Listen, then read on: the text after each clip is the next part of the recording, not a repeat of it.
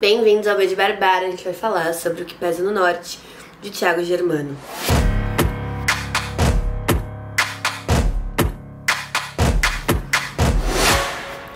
O que pesa no norte pela lei da gravidade, disso Newton já sabia, cai no sul, grande cidade. Essa é a epígrafe do livro, que vem de uma música de Belchior, fotografia 3x4, e é muito sintomática que essa seja a epígrafe e esse seja o título do livro porque o Belchior, para quem não sabe, passou um tempo da sua carreira desaparecido. O carro dele ficou no aeroporto, não se sabia exatamente o paradeiro dele por anos. E aqui em O Que Pesa do Norte, a gente também vai falar de um desaparecimento, ainda que esse desaparecimento seja só a força motriz da história. Então a gente começa com um casal, que é o Ricardo e a Ana, na Paraíba, em João Pessoa, e eles vão receber uma mensagem, uma ligação das pessoas responsáveis pelo apartamento que o seu filho Guilherme aluga aqui em São Paulo. E as pessoas vão dizer que ele simplesmente desapareceu há três meses, não paga aluguel, ninguém vê ele. E a própria família não tem muito contato com o Guilherme, são escassas as cartas que eles recebem, então acende um alerta, né? O que aconteceu com o Guilherme. E o pai Ricardo consegue, então, um tempo do trabalho para vir para São Paulo e buscar esse filho. Mas seria muito natural que a gente pensasse que esse é um romance sobre a busca de Ricardo por Guilherme. Mas não é exatamente isso. Essa tentação de completar a história eu acho que é muito natural. E eu acho que o livro até induz a gente a pensar em alguns momentos que é essa a intenção dele. Mas na verdade o que a gente tem aqui é quase uma história de formação desse pai, desse Ricardo, que antes era genitor apenas, né? Era um homem que, apesar da presença na vida dos filhos, não conseguia estabelecer relações de carinho e afeto reais, de cuidado, da forma como esses filhos, né, gostariam de ser cuidados. Porque ele também tem outro filho que é o Gustavo, mas eu vou falar dele mais pra frente. E aqui nesse começo, então, a gente vai ter o Ricardo chegando em São Paulo e pouco a pouco trocando de lugar com o filho. E isso acontece porque até o Ricardo reflete sobre isso.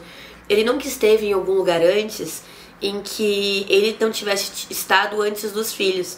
Então ele passa a seguir os passos desse filho. Ele vai morar no apartamento que o filho deixou. Algumas vezes ele vai usar algumas roupas que estão ali, porque eles têm o mesmo tipo físico. Ele vai caminhar pelos lugares onde o filho dele caminhou, vai conhecer as pessoas com quem o filho dele se relaciona. E isso pouco a pouco vai aproximando ele de um filho que ele mal conhece. E essa recíproca é verdadeira, né? O livro ele é entremeado por algumas cartas, materiais de jornal e tudo mais. E na primeira carta que a gente tem, que na verdade talvez seja o único momento que a gente tem a voz do Guilherme própria ali, é uma carta do Guilherme para Ana, mãe dele, e aí ele tá falando sobre a ida para São Paulo, e ele diz que assim como ela, ele tem medo, ele tem medo de avião, ele tem medo de voar. E é muito curioso porque logo em seguida a gente tem a cena do Ricardo voando para São Paulo, e a gente descobre que quem tem medo de avião é o Ricardo. Então, sequer eles conseguem conhecer as fragilidades um do outro para saber o que os aproxima, né? Então é uma relação realmente muito distanciada. E a gente vai percebendo essa dificuldade de se relacionar, esse afastamento em cada pequeno detalhe do livro. E ao mesmo tempo, o Tiago consegue criar algumas imagens muito bonitas a partir dessa melancolia familiar. Então, quando a gente está acompanhando o Ricardo no avião indo para São Paulo, por exemplo, o Ricardo vai se lembrar do nascimento do Guilherme. E da forma como o autor justapõe essas duas partes da história, fica muito parecendo que o Ricardo está segurando no colo o filho recém-nascido. Mas esse filho já nasceu há décadas. Então é só uma sobreposição de imagens desse momento de cuidado, desse momento de entrega que o pai tem. E que isso aconteceu uma vez antes, que foi no nascimento desse filho. A gente também tem um momento muito bonito em que o Gustavo vai ajudar a mãe, a Ana, a Ana é fotógrafa, a digitalizar as fotografias da família. E o motivo para isso é que a estante que segura esses álbuns de fotografia tá caindo. Ou seja, a estrutura familiar não dá conta da bagagem que eles têm, né? Então é tudo muito bem colocado assim nesse romance para mostrar como a família opera. E o que eu gosto muito no título dele, né, voltando um pouquinho, é que ele já coloca essa, esse movimento, né, de norte para o sul, quando a gente conhece a epígrafe, E ele também traz a ideia de peso, que aqui eu leio muito como uma ideia de bagagem, principalmente emocional, né? Existem muitos motivos para você migrar do norte para o sul, mas o motivo do Guilherme é um motivo que é muito comum na comunidade LGBT, que é você se afastar da sua família para poder viver a sua vida completa. E ao longo do livro a gente vai sacando bem aos pouquinhos. Acho que isso é um, uma coisa muito massa. Isso não é jogado de cara, a gente não tem uma briga por causa da sexualidade do Guilherme aos poucos, né? A gente acompanha pequenas agressões que ele sofre toda a vida antes de finalmente dizer aos pais que é gay. Mas a questão é, ele poderia não ser, né? A gente está falando aqui principalmente de uma opressão que ela vem pela performance. Então a gente tem um momento em que o Guilherme tá lavando louça e o pai fica bravo porque ele tá lavando louça. Então ele não tá bravo só porque o menino tá lavando louça, mas é porque há algo que ele vê nessa criança, né, que a gente chama de criança viada. Ele olha para a criança, ele entende essa feminilidade no menino e ele tenta tolher comportamentos que ele acha que ensinam essa criança a ser feminina, né? Porque o irmão Gustavo, em momento nenhum, é, mostra ele, por exemplo, com essas questões familiares da casa sendo tolhido. Pelo contrário, Gustavo ele acaba sendo aquela criança que apesar de ser o filho mais novo e por isso tem algumas benesses, porque quando chega em momentos especiais da vida, os pais têm mais dinheiro, estão melhor colocados, o outro filho já saiu de casa, então sobra mais dinheiro também. Apesar de ter essas benesses, ele faz o que é esperado, ele tá ali, ele segue a regra do jogo, né? Então ele não, não, não cria conflitos. Ele até parece muitas vezes uma linha auxiliar, porque sempre que há um problema com o Guilherme, o Gustavo tá ali meio que ao redor. É aquela famosa história do sempre que a gente tem um filho que centraliza as questões da família, o outro filho tá sofrendo calado. E eu acho que esse é um pouco o lugar do Gustavo, ainda que ele não tenha centralidade nesse romance.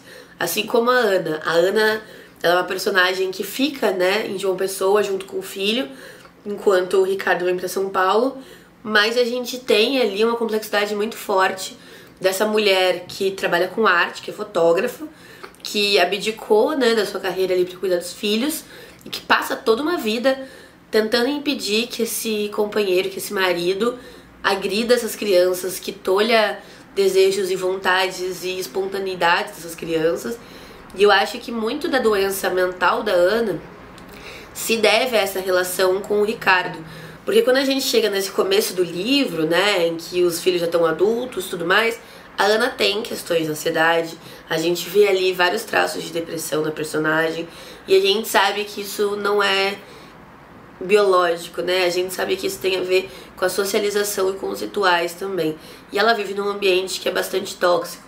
E eu acho que talvez o que seja mais violento da situação da Ana é a falta de cumplicidade, talvez, com o Guilherme. Nessa primeira carta que eu citei, o próprio Guilherme fala que culpa ela, né? Não pelo feito, mas por não ter impedido o feito. E eu entendo o ímpeto do Guilherme, eu entendo a raiva de olhar a Ana como essa adulta que tinha poder e não fez nada.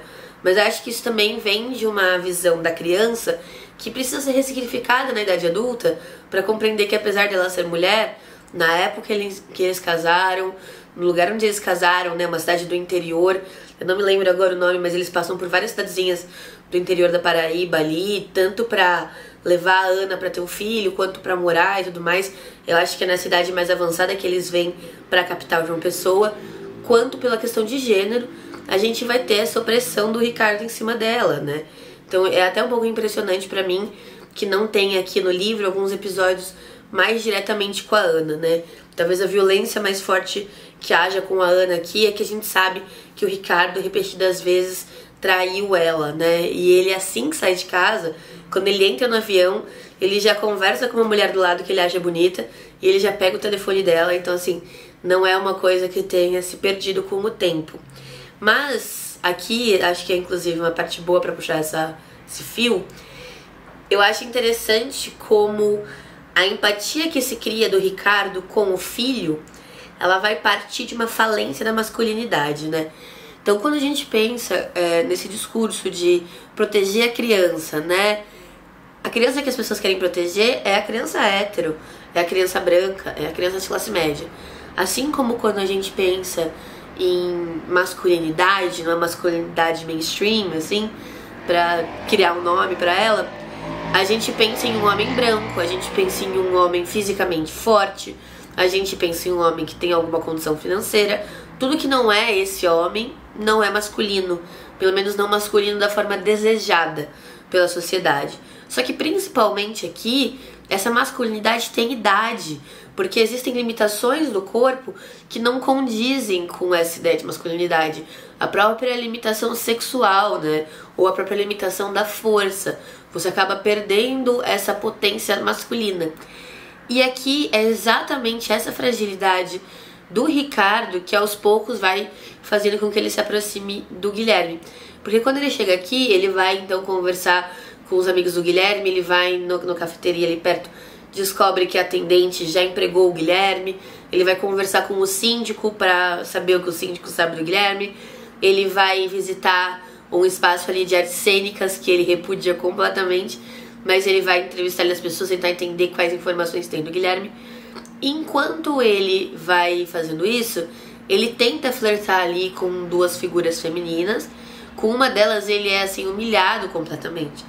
E esse essa figura, né, essa situação de humilhação pela qual ele passa fragiliza ele e logo em seguida, quando ele decide novamente ter uma investida sexual ali, ele vai ter um flashback de infância. E a gente vai entender por que o Ricardo é da forma que ele é.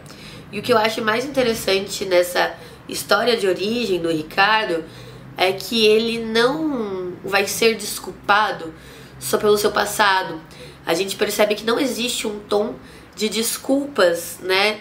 Não é tentando justificar que aquilo ali acontece. E isso eu acho muito importante, porque para mim é, é, muito difícil que um romance seja original, né? A gente vai reutilizar vários clichês, a gente vai usar vários tropos, várias estruturas, mas o importante é que seja o que for que seja utilizado ali, seja bem utilizado, seja bem construído. E eu acho que a complexidade que é dada à figura do Ricardo é o que mostra pra gente o quão bem construído é esse romance.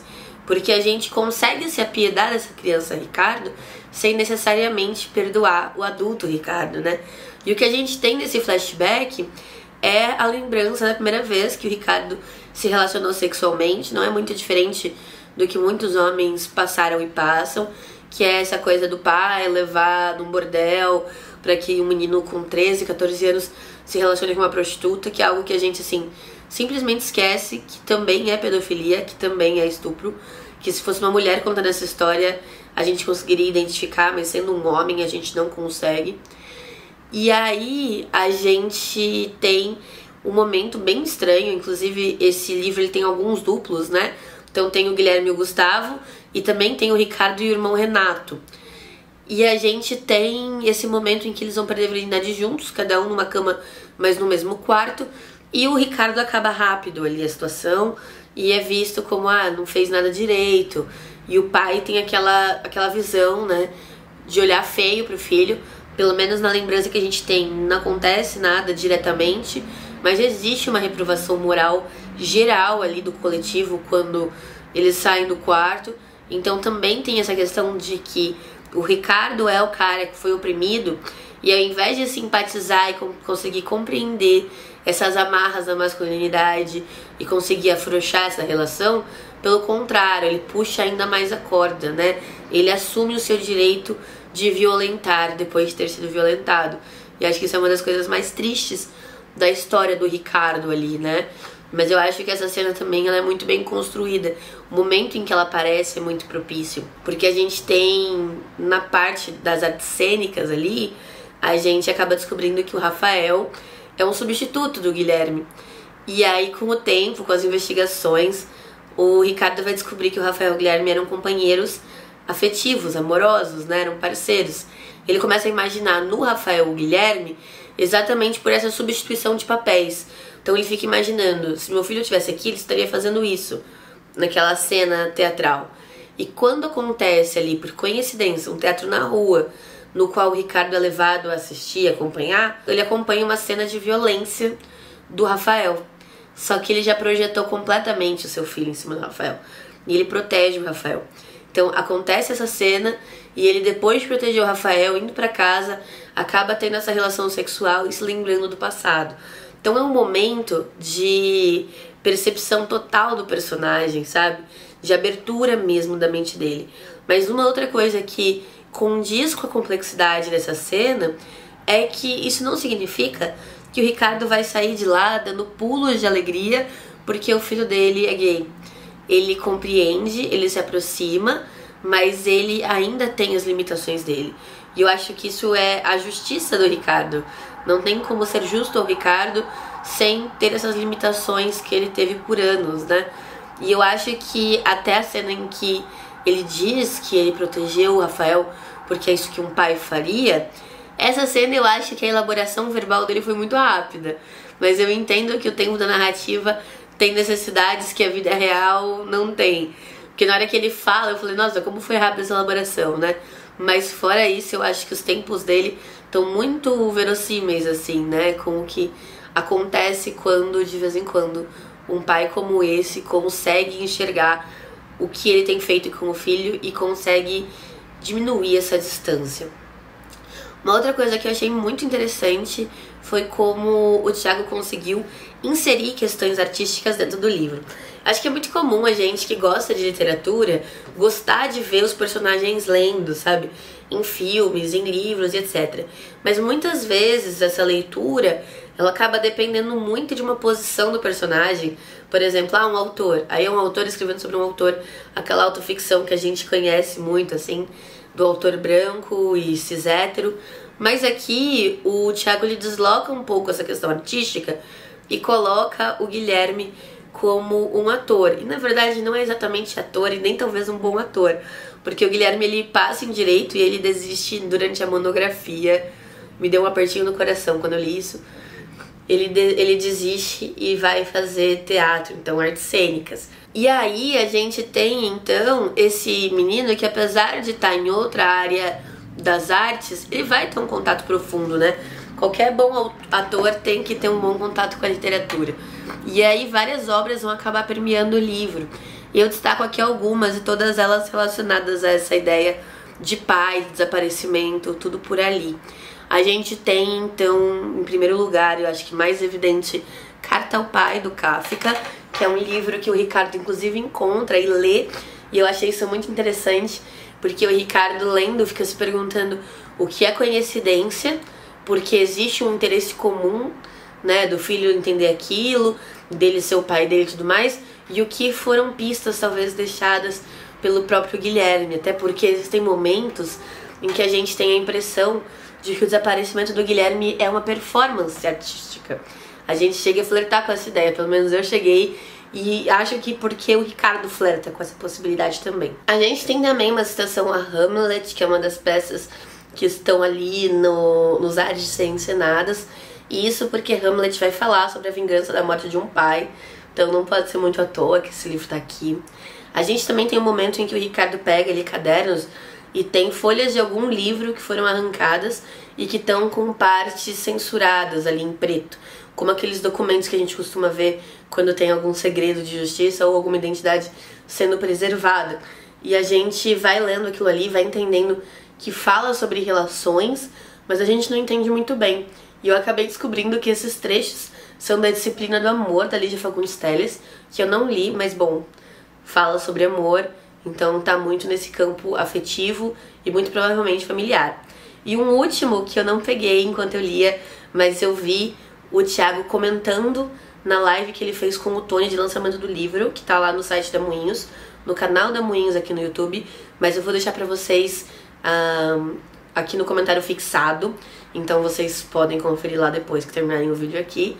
Ele comenta que existe uma reflexão também ali um momento de talvez de cruzar a literatura com a do Lourenço Mutarelli, porque existem referências ao Grifo de Abdera, que eu não li, eu ainda não li o Lourenço, mas parece que quando o Thiago morou aqui em São Paulo, ele morava perto do Lourenço Mutarelli e eles frequentavam esse mesmo café, o café que aparece no livro.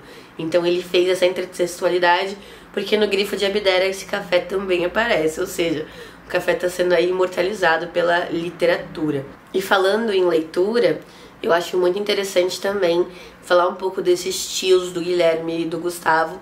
Os tios que são exatamente o Renato e a companheira dele, que agora eu não me lembro o nome, mas que são tios que mudam drasticamente. E talvez seja, talvez seja uma gota d'água para o Guilherme, porque esses tios no começo do livro, eles são pra gente como um porto seguro.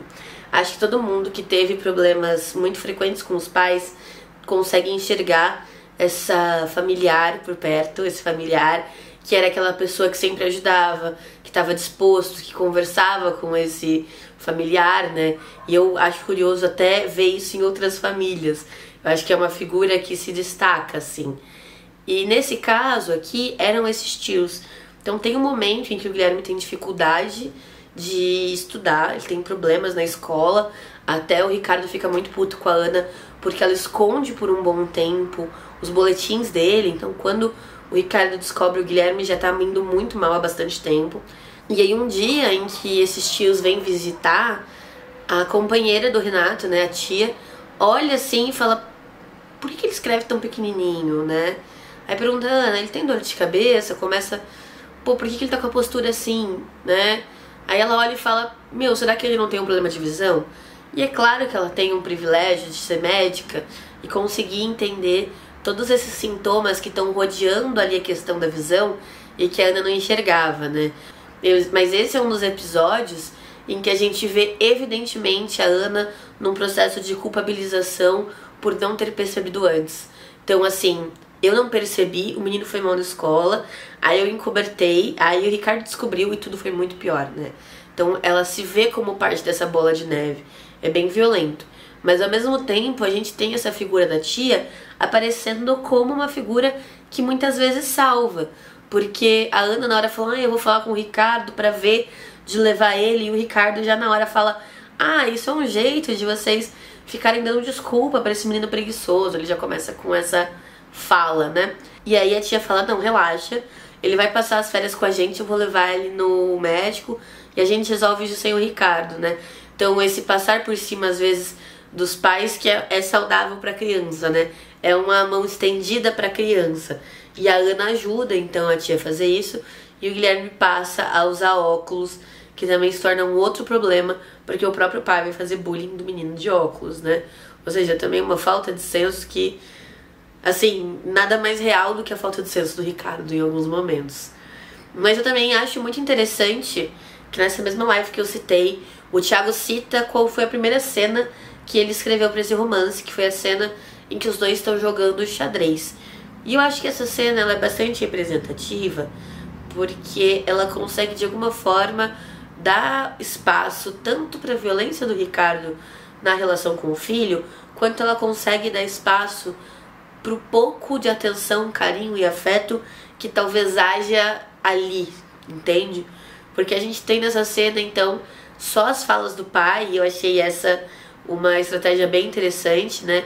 Tem ali uns, umas pequenas entradinhas do filho, mas não tem uma descrição né, do narrador. Essa parte fica muito concentrada no Ricardo falando. E a gente tem o Ricardo tentando ensinar o filho a jogar xadrez. A gente não sabe quantos anos o Guilherme tem ali, mas fica muito evidente pela dinâmica da cena que ele é novo demais para o que está acontecendo. Então a gente tem uh, o Ricardo ficando bravo, cada vez mais bravo, perguntando coisas, o Guilherme não sabendo responder, e ele atravessando o Guilherme, ficando bravo, xingando, até que chega a parte do final e a Ana começa a querer parar a brincadeira e o Ricardo fica mais bravo ainda. Então tem uma dinâmica bem complexa ali, né? Bem difícil de lidar. Mas ao mesmo tempo, eu fico pensando o quanto esse estar presente do Ricardo é a forma dele de demonstrar carinho, afeto ou preocupação, é, ainda que mal feitas, ainda que não precisem ser aceitas como tal, porque partem de um espaço de violência também. Mas ele não é um pai ausente. Ele não abandonou a Ana. Ele não é o cara que vai trabalhar e não quer saber dos filhos, sabe? Ele tá ali, ele tá presente, ele tenta criar essas relações com os filhos, mas ele não faz da forma correta, né? Então ele vai fazer isso tentando fazer o filho que é novo demais aprender um jogo que ele não vai aprender. E aí é evidente que ele vai se decepcionar, é evidente que ele vai ficar bravo, é evidente que ele vai levantar a voz, porque é assim que ele age nessas situações, né? Ele não consegue olhar e falar, ok, vamos ensinar uma coisa mais simples pra criança antes, né? Dá pra ver ali, dá pra entender pela conversa que o menino já tinha jogado dama, mas dama é um jogo imensamente mais fácil do que o xadrez, né? Primeiro pela quantidade de itens que tem ali, segundo todas as movimentações, estratégias, porque é isso, o Ricardo não quer ensinar o básico do xadrez. Ele quer ensinar estratégia, ele quer explicar por que, que a rainha vale tantos pontos mais ou menos que o bispo. E aí ele fala da monarquia. E aí vira um negócio assim que é completamente não palatável para uma criança, né? Dessas diversões infantis em que é muito evidente a impossibilidade do Ricardo até de ocupar o mesmo espaço que esses filhos. Então tem um dia que tá passando Rock Balboa e aí tá em duas televisões dentro da casa e até eu achei muito legal esse detalhe que tem um delay entre as televisões, né? Então tudo que você escuta, você escutava duas vezes de um lado e do outro você escutava antecipado o áudio, né? Então você tinha um tapa, se alguém morria, se tinha música, você levava meio que o spoiler ali pelo áudio da outra televisão. E pelo que dá a entender ali, o Ricardo tá na sala, ninguém sabe se ele tá acordado ou dormindo, até o Guilherme pensa nisso, que ele queria que o volume da sala estivesse mais baixo, mas ele tem medo de ir na sala e o pai não estar dormindo. Mas ele também tem medo de ir na sala e desligar a TV e o pai acordar furioso.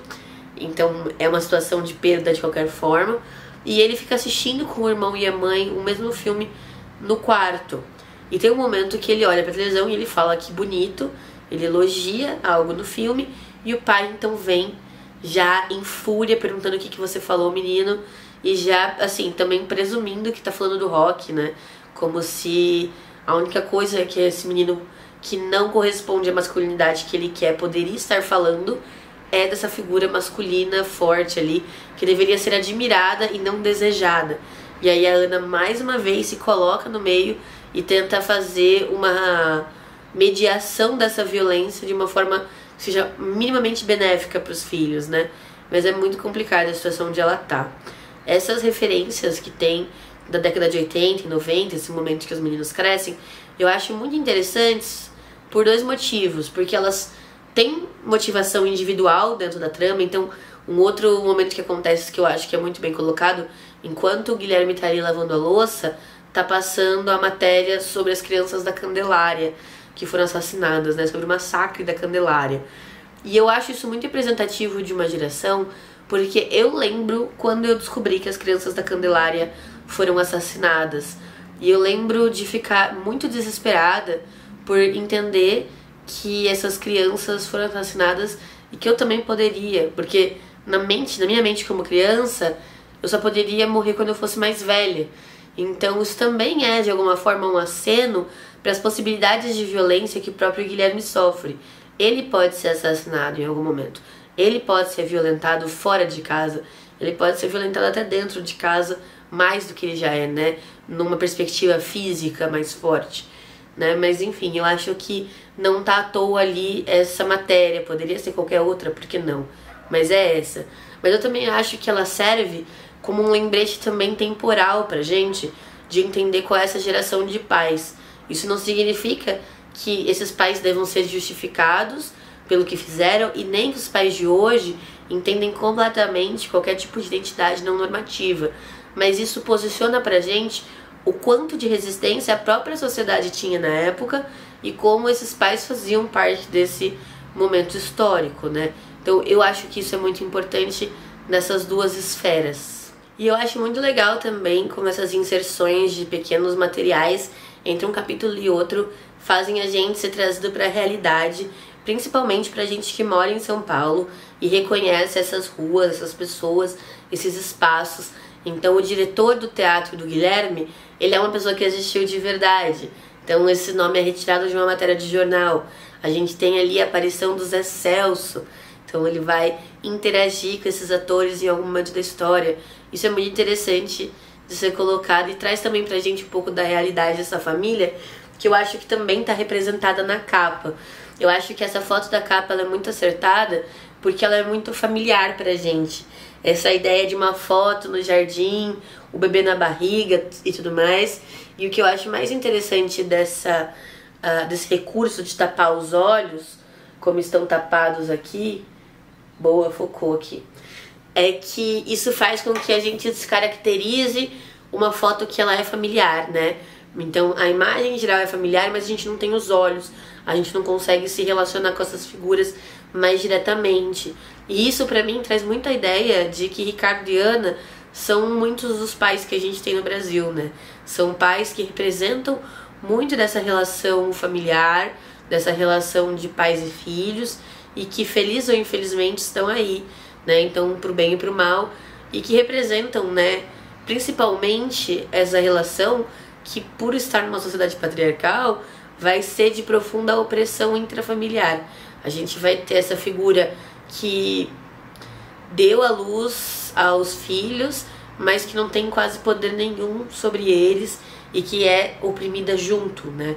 Que está subalterna junto com os filhos, apesar de algumas possibilidades ali maiores de defesa de si dos outros, mas que ainda assim é oprimida pelo mesmo inimigo comum, né?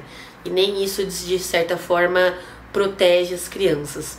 Eu acho que o grande trunfo desse livro é que ele consegue criar essa relação sem criar uma dicotomia. Então, o Ricardo não é um monstro e o Ricardo também não tem que ser perdoado porque teve um passado difícil, assim como o Guilherme não é um herói. Muitas vezes a gente enxerga as falhas dele, a gente vê que tem muita coisa ali que ele poderia ter feito de outra forma, que ele poderia ter pensado melhor. Ele faz as coisas muito no impulso.